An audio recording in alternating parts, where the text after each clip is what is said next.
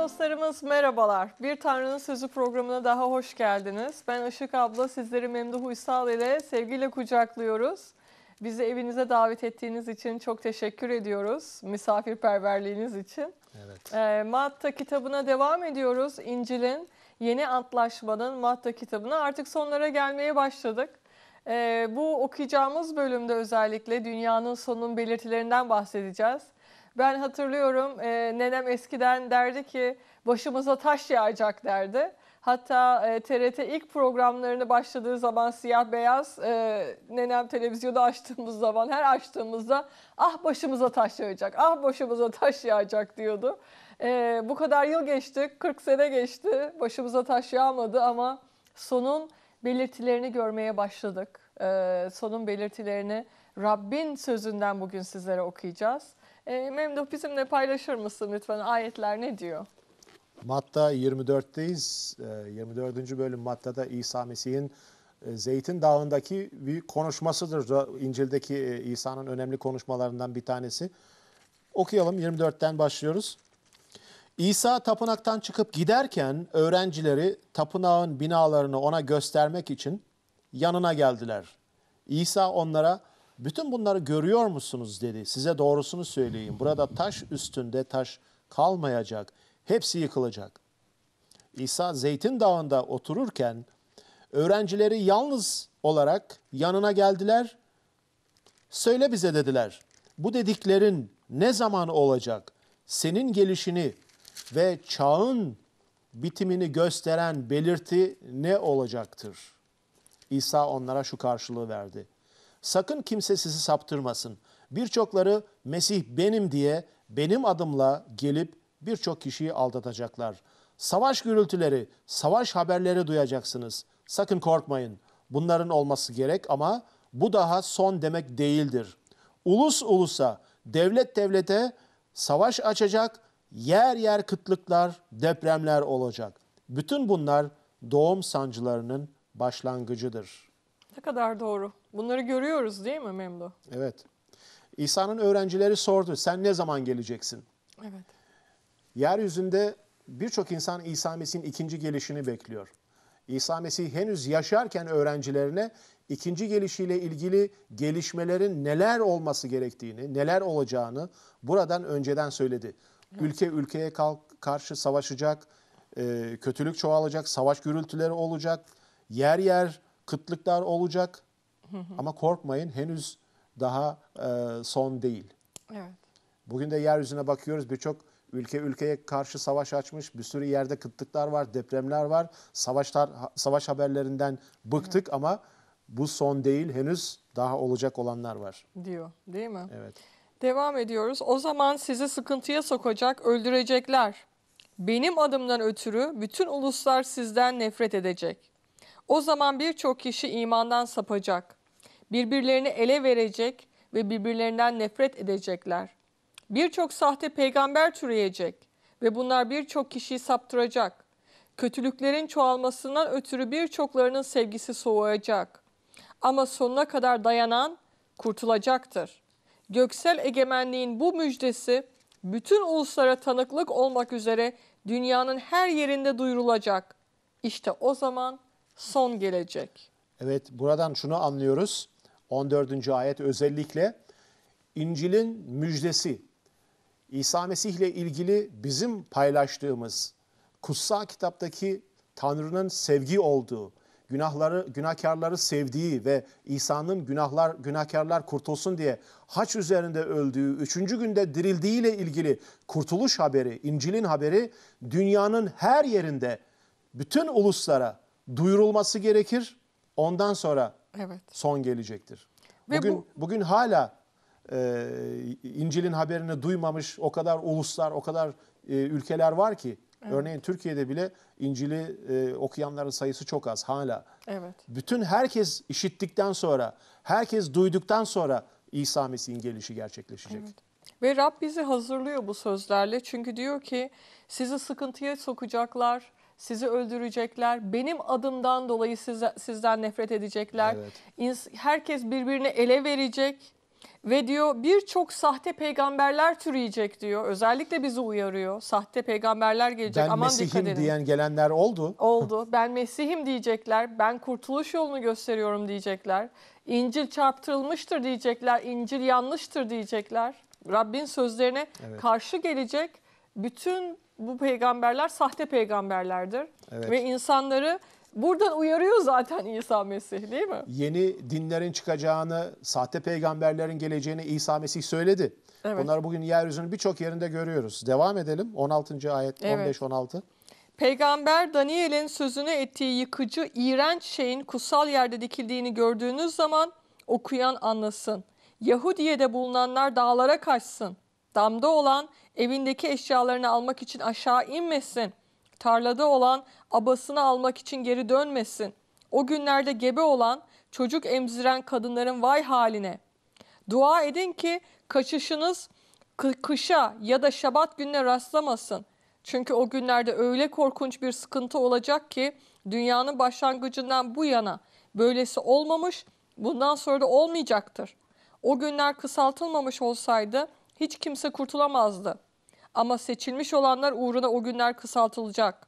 Eğer o zaman biri size işte Mesih burada ya da işte şurada derse inanmayın. Çünkü sahte mesihler, sahte peygamberler türeyecek. Bunlar büyük belirtiler ve harikalar yapacaklar. Öyle ki ellerinden gelse seçilmiş olanları bile saptıracaklar. İşte size önceden söylüyorum. Evet, burada da çok ciddi uyarılar var. İsa Mesih ikinci kez gelmezden önce neler olacağını belirtiyor burada. Birçok sahte peygamberler çıkacak, sahte mesihler ortaya çıkacak. O kadar etkili mucizeler yapacaklar ki mümkünse ellerinden gelse Tanrı'nın seçmiş olduğu kutsalları dahi saptıracaklar Evet. diyor. Evet.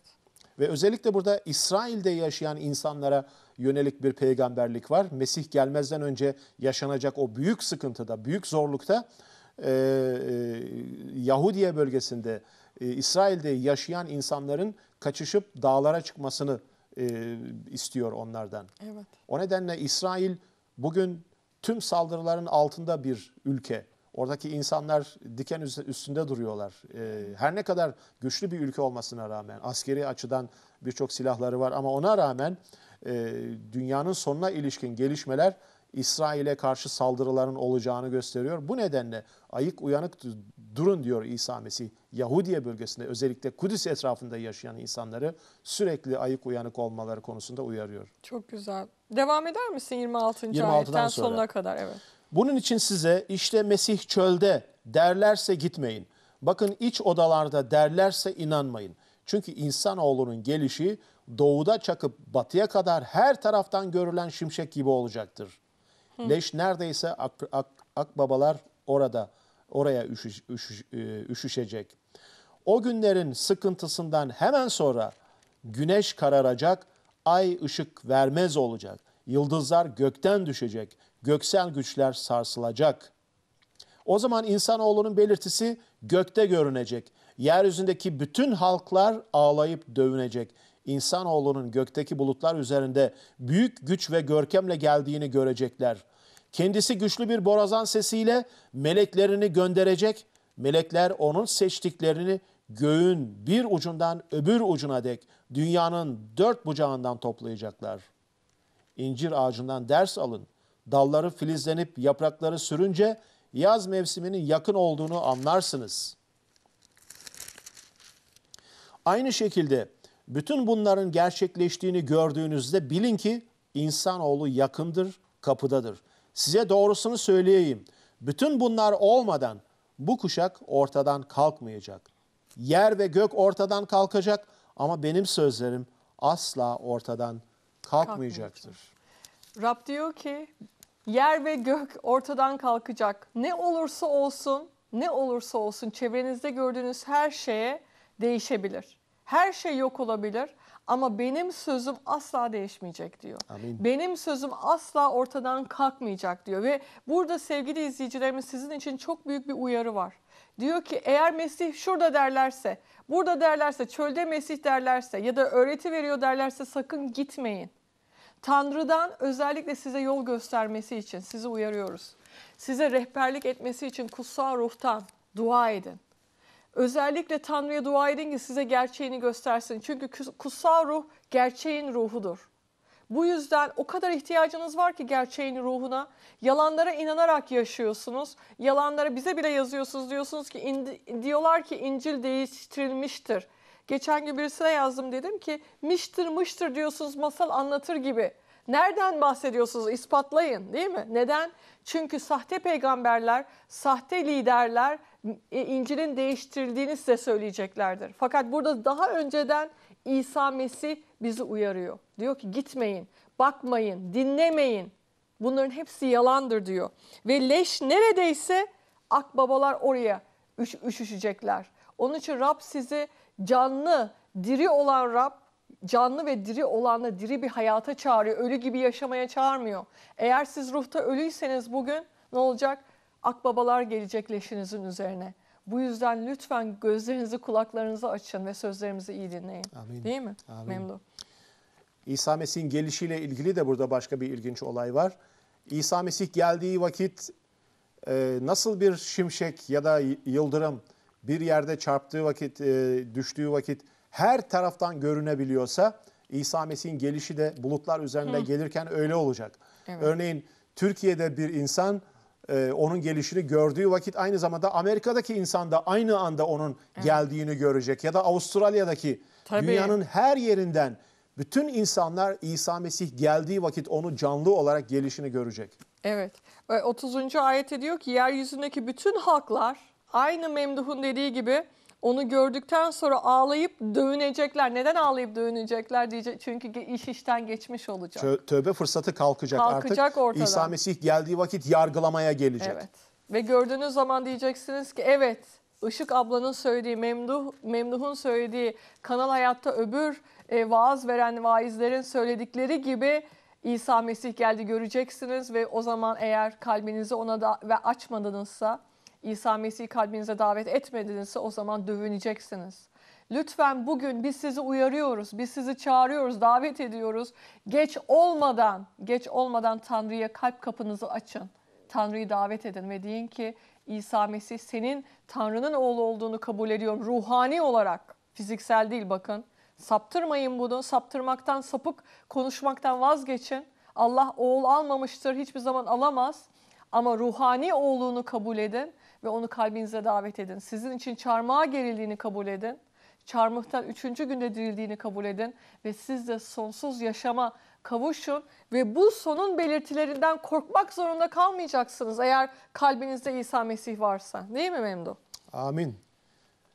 Vaktimiz var mı Darbi? Evet var var. Evet. Şimdi İsa Mesih geleceği vakit bazı öğretişler, bazı dinsel öğretişlere göre diyorlar ki 40 yıl yeryüzünde yaşayacak, Müslüman olacak, evlenecek, çoluk çocuğa kav- Yalan. kavuşacak. Kutsal kitap böyle bir şey öğretmiyor. İsa Mesih geldiği vakit yargıç olarak gelecek. Evet. Artık e, başka bir e, bir şey beklemiyoruz. İsa Evet. Mesih büyük yetkiyle Evet. gökte ve yeryüzünde tüm yetki bana verildi diyor İsa Mesih. Bu yetkiyle gelecek. Ve e, gelişinden önce yaşanacak çok ağır olaylar var. Büyük Armageddon meydan savaşı gerçekleşecek. Yeryüzünün nüfusunun üçte biri İsa Mesih gelmezden önceki olaylar ve çatışmalar sonucunda ortadan kalkacak. Bugün 6 milyar mı insan var, 7 milyar mı insan var? Üçte biri ne kadar yapıyor? 2, 2,5 milyar insan Mesih gelmezden önce katledilecek. Acımasız kanlar dökülecek. Böylesine ağır savaşlar yaşanacak. Henüz bunlar olmadan Mesih'in gelmesini beklemiyoruz. Ama önümüzdeki gelecek içerisinde bu şeyler mutlaka yaşanacak. Mutlaka insanlık bu katliamla yeryüzünün insanlığının sayısının üçte birinin yok edilmesiyle karşılaşacak. Evet. Çok çok Bundan kaçmak istiyorsanız şimdi İsa Mesih'e gelebilir, onun tarafına geçerek kurtulabilirsiniz. Amin. Ee, devam ediyoruz. Bilinmeyen gün ve saat diyor 36. ayetten başlayarak. O günü ve saati ne gökteki melekler ne de oğul bilir. Babadan başka kimse bilemez. Nuh'un günlerinde nasıl olduysa insanoğlunun gelişinde de öyle olacak. Nuh'un gemiye bindiği güne dek tufandan önceki günlerde insanlar yiyip içiyor, evlenip evlendiriliyorlardı. Tufan gelinceye hepsini süpürüp götürünceye dek başlarına geleceklerden habersizdiler. İnsanoğlunun gelişi de öyle olacak. O gün tarlada bulunan iki kişiden biri alınacak, biri bırakılacak. Değirmende buğday öğüten iki kadından biri alınacak, biri bırakılacak. Bunun için uyanık kalın. Çünkü Rabbinizin geleceği günü bilemezsiniz. Ama şunu bilin ki ev sahibi hırsızın gece hangi saatte geleceğini bilse uyanık kalır ve evinin soyulmasına fırsat vermez. Bunun için siz de hazır olun. Çünkü insanoğlu beklemediğiniz saatte gelecektir. Efendinin hizmetkarlarına vaktinde yiyecek vermek için başlarına atadığı güvenilir ve akıllı köle kimdir? Efendisi eve döndüğünde işinin başında bulacağı o köleye ne mutlu. Size doğrusunu söyleyeyim. Efendisi onu onu bütün malının üzerine yetkili kılacak.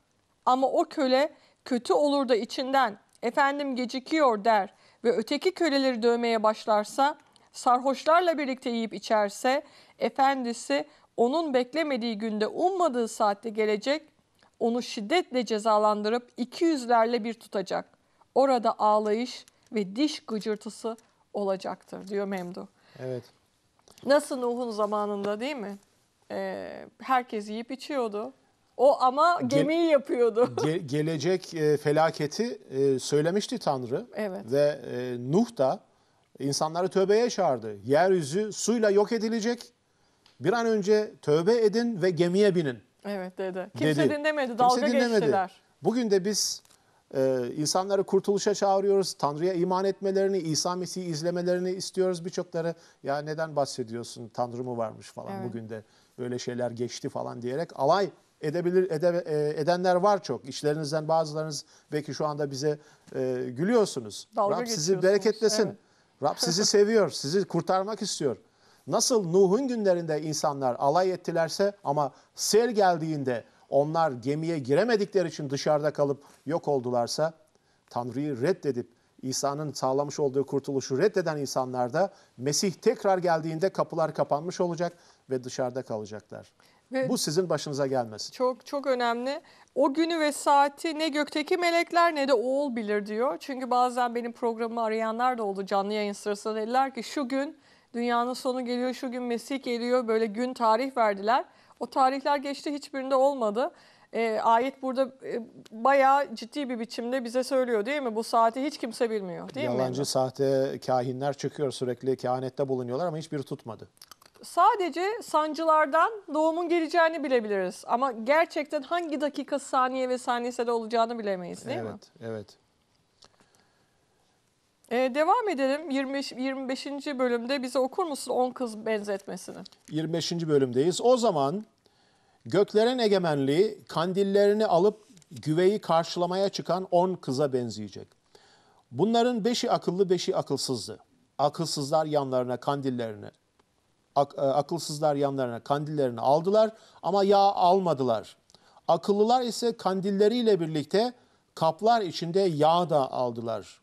Güvey gecikince Hepsini uyku bastı, dalıp uyudular. Gece yarısı bir ses yankılandı. İşte güvey geliyor, onu karşılamaya çıkın. Bunun üzerine kızların hepsi kalkıp kandillerini tazelediler. Akılsızlar akıllılara, kandillerimiz sönüyor bize yağ verin dediler. Akıllılar olmaz, hem bize hem de size yetmeyebilir. En iyisi siz satıcılara gidin, kendinize yağ alın dediler. Ne var ki onlar yağ satın almaya giderlerken güvey geldi. Hazırlıklı olan kızlar onunla birlikte düğün şölenine girdiler ve kapı kapandı. Daha sonra gelen öbür kızlar, Efendimiz, Efendimiz aç kapıyı bize dediler.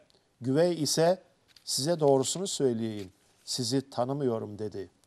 Bu nedenle uyanık kalın çünkü o günü ve o saati bilemezsiniz.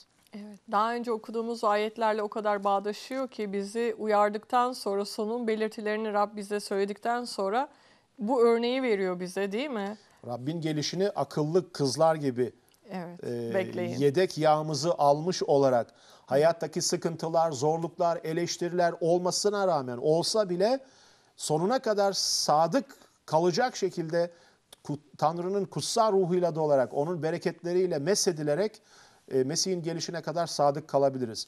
Ama dünyasal tutkulara, dünyanın geçiciliğine, gösterişe, dünyanın sunduğu o boş e, e, oyunlara dalar gidersek Mesih geldiğinde haberimiz olmayabilir ve dışarıda kalabiliriz. Evet. Burada yağ kutsal ruhu temsil, temsil ediyor. Bizim kutsal ruhla dolmuş olmamız, onun meshedilmişliğiyle dolmuş Amin. olmamız çok önemli. E, Belki bazen siz diyorsunuz ki ben dua ediyorum, e, dua ettim ya da kutsal ruhla doldum. Bu bir kere olan bir şey değil. Bu sürekli olması gereken bir şey. Sürekli ruhta hazır olmamız lazım. Çünkü benliğimiz bir gün çürüyecek, çöpe atılacak.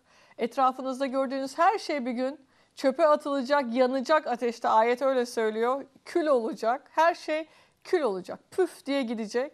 Fakat kalan tek şey var o da ruh. Eğer ruhta siz kutsal ruhla doluysanız, ruhta yaşıyorsanız aynı bu akıllı kızlar gibi yağınız varsa o zaman dünyanın sonu geldiği zaman, Mesih geldiği zaman siz göğsünüzü gere gere onun karşısına çıkabileceksiniz diyeceksiniz ki ben bekliyordum, bugünü bekliyordum. Ötekiler diyecek ki eyvah ben hazır değilim keşke bir günüm daha olsaydı, bir saatim daha olsaydı. Ama maalesef o zaman çok geç olacak. Bugün bizim yapmaya çalıştığımız sizin için sizin kurtuluşunuz için, canınızın kurtulması için sizi uyarmak. Lütfen demek, lütfen uyanın. İmana gelin, gerçeği arayın. Bildiğinizi zannettiğiniz yollar sizi cehenneme götürüyor. Bildiğiniz zannettiğiniz yollar, doğru zannettiğiniz yollar sizi hiç bir zaman sonsuzlukta taşıyamayacak. Mesih geldiği zaman sizi aklayam- aklayamayacak o yollar. Aman gerçeği arayın lütfen. Gerçeği arayın, gerçek Tanrı'yı arayın değil mi Memduh? Amin, amin. Hamdolsun.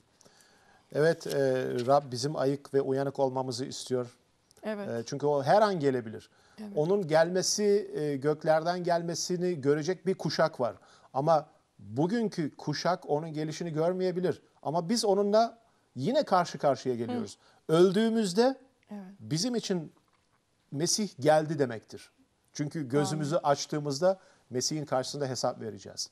Evet. O nedenle aman 200 yıl sonra mı gelir, 500 yıl sonra mı gelir, kim bilir ki falan deyip de e, kendinizi bundan soyutlamayın. Evet.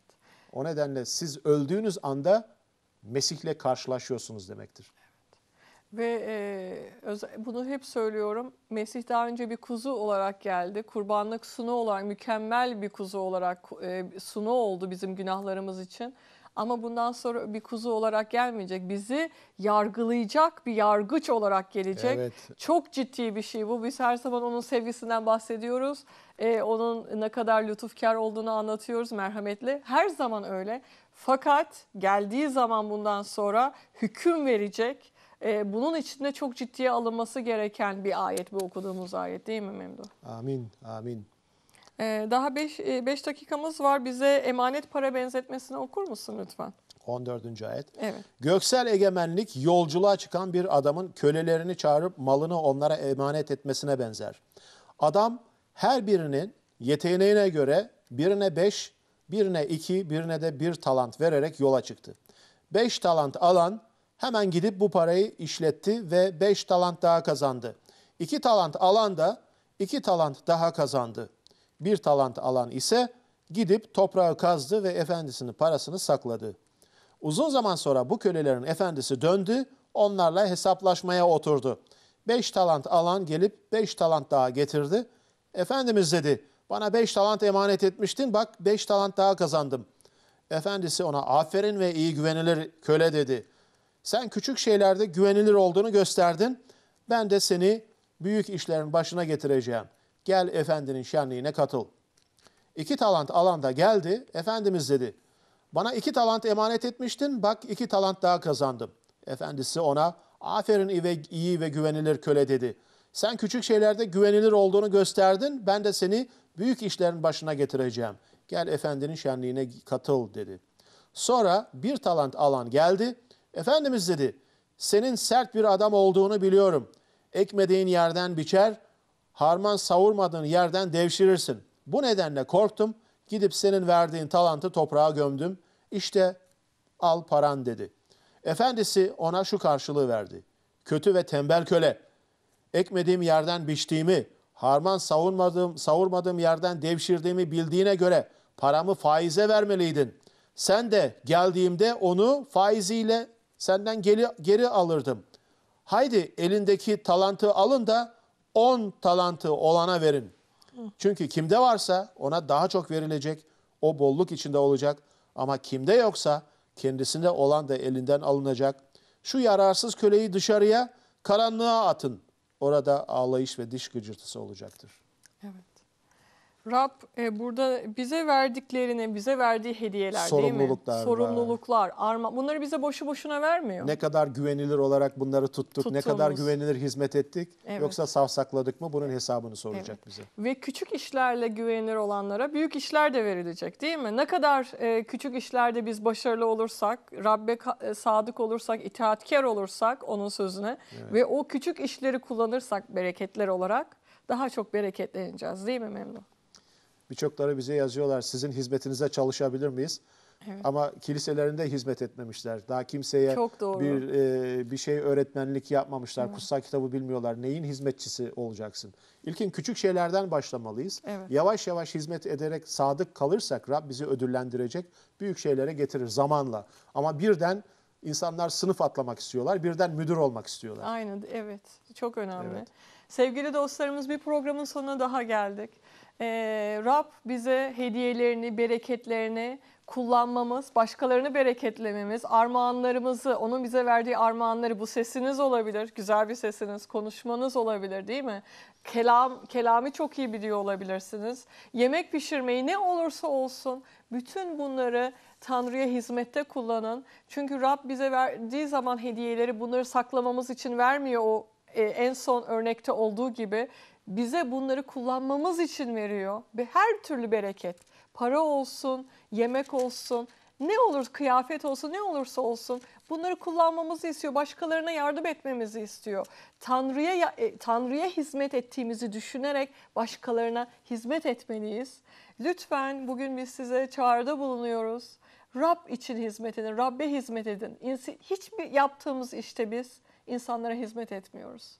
Biz bu işi dahi yaparken Memdullah kamera karşısına geçerken bunu sadece sizin için her şeyden önemlisi Rab için yaptığımızı biliyoruz. Bizim izleyicimiz ilk önce siz değilsiniz. Bizim izleyicimiz söylediğimiz sözleri tartan, adil tartısı adil olan Tanrı. Bugün aynı zamanda son günler için uyarıları da okuduk sizlere. Sizi uyarıyoruz tekrar. Rabbe dönün. Gerçek Tanrı'yı arayın. Ona dua edin. Ona bir elinizi açın. Deyin ki şu anda eğer bu ayetler kalbinize konuştuysa deyin ki İsa Mesih senin Tanrı'nın oğlu olduğunu kabul ediyorum. Gel kalbimde yaşa. Benim için çarmıhta öldüğünü ve üçüncü gün e, dirildiğini de kabul ediyorum. Bana sonsuz hayat ver. Günahlarımı bağışla. Bu duayı ederek yeniden doğun. Bir dahaki programda görüşmek üzere. Esenlikle kalın. Sizi seviyoruz. Hoşça kalın. Hoşça kalın.